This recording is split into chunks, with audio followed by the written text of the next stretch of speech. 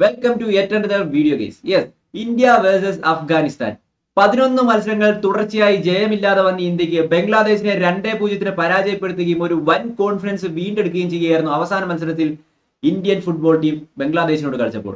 ഇന്ന് ഇതാ അടുത്ത മത്സരം വരികയാണ് ഇന്ത്യ വേഴ്സസ് അഫ്ഗാനിസ്ഥാൻ ബംഗ്ലാദേശിനേക്കാൾ മച്ച് മോർ ഓറിയന്റഡ് ആയിട്ടുള്ള ഒരു ടീമാണ് അഫ്ഗാനിസ്ഥാൻ എന്നുള്ള കാര്യത്തിൽ യാതൊരു സംശയം വേണ്ട. പോയിന്റ് ടേബിളിൽ പുറകിലാണെങ്കിലും ഇന്ത്യക്കാരിലും പുറകിലാണെങ്കിലും much more oriented than Bangladesh നമുക്ക് അഫ്ഗാനിസ്ഥാനെ വിശേഷിപ്പിക്കാം.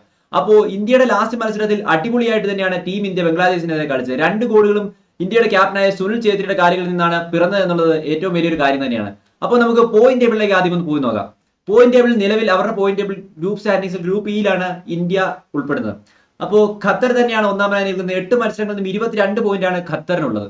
അതുപോലെ തന്നെ ഒമാൻ രണ്ടാം സ്ഥാനത്ത് ഏഴ് മത്സരങ്ങളിൽ നിന്നും പതിനഞ്ച് പോയിന്റുകളാണുള്ളത് ഇന്ത്യ ആകട്ടെ മൂന്നാം സ്ഥാനത്താണ് ഏഴ് മത്സരങ്ങളിൽ നിന്നും ആറ് പോയിന്റുകൾ അഫ്ഗാനിസ്ഥാൻ നാലാം സ്ഥാനത്താണ് ഏഴ് മത്സരങ്ങളിൽ നിന്നും അഞ്ച് പോയിന്റുകൾ. അഞ്ചാം സ്ഥാനത്ത് ബംഗ്ലാദേശ് ആണ് ഏഴ് മത്സരങ്ങളിൽ നിന്നും രണ്ട് പോയിന്റുകൾ. അഫ്ഗാനിസ്ഥാനെ ഇതുവരെ ഒരു മത്സരം പോലും ജയിക്കാൻ സാധിച്ചിട്ടില്ല. അവരുടെ ഭാഗത്ത് അവസാനം അഞ്ച് കളികളിൽ മൂന്ന് തോൽവികളും രണ്ട് സമനിലകളുമാണ് ഉണ്ടായിരുന്നത്. ഇന്ത്യയെ സംബന്ധിച്ചാകട്ടെ ബംഗ്ലാദേശിനോട് നേടിയ ആ ഒരു ജയമല്ലാതെ വേറൊന്നും കരുതിക്കൂട്ടി കാണിക്കാനുമില്ല. സോ എന്തായാലും അഫ്ഗാനിസ്ഥാനെതിരെ ഒരു തീ പാർന്ന മത്സരം ഉണ്ടാകുമെന്നുള്ള കാര്യത്തിൽ യാതൊരു സംശയവുമില്ല. അപ്പോ ഇന്ത്യയുടെ കീ പ്ലെയർ എന്ന് പറയുന്നത് അവിടെ ബ്രാൻഡൻ ഫെർണാണ്ടസിനെ അത് ഉദ്ദേശിക്കുന്നത്. എന്തായാലും അവിടെ കീ പ്ലെയർ എന്നുള്ള സ്ഥാനത്തേക്ക് നമുക്ക് സുനിൽ ഛേത്രിയെ കൊണ്ടുവരാം. കാരണം ബംഗ്ലാദേശിനെതിരെ അദ്ദേഹം നേടിയ ആ രണ്ട് ഗോളുകൾ ഒരിക്കലും നമുക്ക് മറക്കാൻ സാധിക്കുന്നില്ല. സോ ഇന്ത്യയുടെ സ്ക്വാഡിലേക്ക് നോക്കിക്കഴിഞ്ഞാൽ ഗോൾ കീപ്പേഴ്സ് ആയിട്ട് ഗുർപ്രീത് സിംഗ് സന്ധു തന്നെയായിരിക്കും ഇന്നും അണിനിരക്കുക.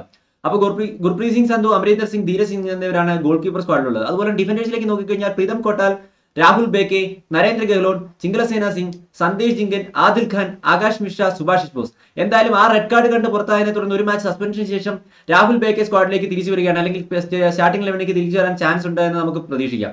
അതുപോലെ മിഡ്ഫീൽഡേഴ്സിലേക്ക് നോക്കിക്കഴിഞ്ഞാൽ ഉദാന്ത സിംഗ് ബ്രാൻഡൻ ഫെർണാണ്ടസ് നമ്മൾ ഒരിക്കൽ പറഞ്ഞു കീ പ്ലെയർ തന്നെയാണ് ബ്രാൻഡൻ ഫെർണാണ്ടസ്. ഇന്ത്യയുടെ കീ പ്ലെയർ തന്നെയാണ് അദ്ദേഹം. ഇസ്റ്റിൻ കൊളാസോ റോളിയം ബോജസ് ഗ്ലാൻ മാർട്ടിൻസ് ആൻഡ്രൂ താപ്പ പ്രണോയ് ഹാൽദർ സുരേഷ് സിംഗ് അപ്പൂയ അബ്ദുൽ സഹൽ യാസിർ മുഹമ്മദ് ജാൽസ്വാല ചാങ്ദെ ബിപിൻ സിംഗ് ആഷി കുർണിയൻ.